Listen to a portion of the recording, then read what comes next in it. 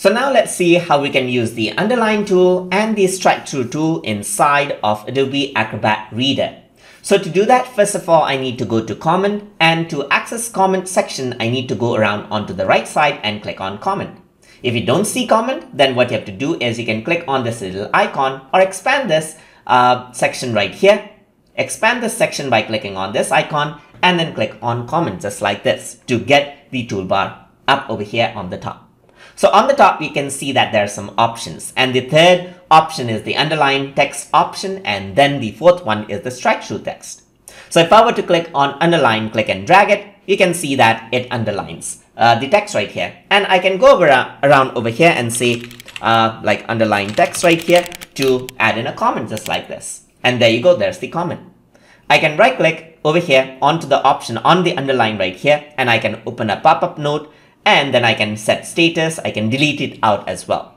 So if I were to go and click and drag this and right click, you can see that I can de delete, I can reply to the comment as well and so forth. So all the options are there.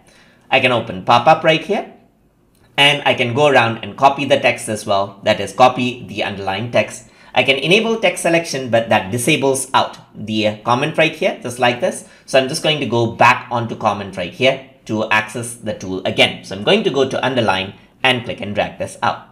And I can right click over here to uh, go around to properties and then set things such as color. So I can do a red underline, I can decrease the opacity right here, and I can change the style of the underline as well. But this seems more like a spell spelling error effects. I'm going to go to straight. Then in general, I can go around and change its uh, uh, values right here like author and subject as you can see right there and I can press OK and I can also make this default, make current properties default. Then I can go to underline right here, click and drag it, and that's what you get.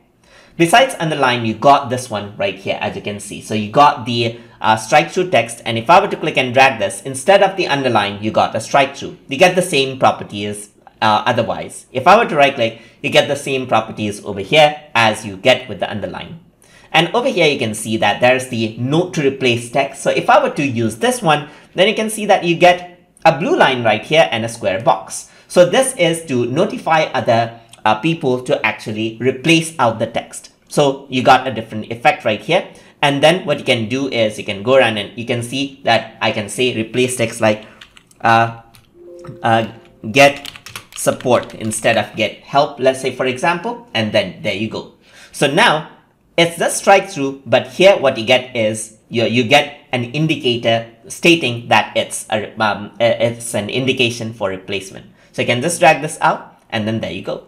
So if I were to go around over here, you can see that right click and you get options like set, state, set status, properties, and so forth, just like as you would with the other option. So I can go around, change it to other option and change around the opacity as I like and press OK. And that is how you can work around with the underline tool and strike through tool inside of Adobe Acrobat Reader. So hope you guys learned something as always. And as always, please like, comment, share, and subscribe.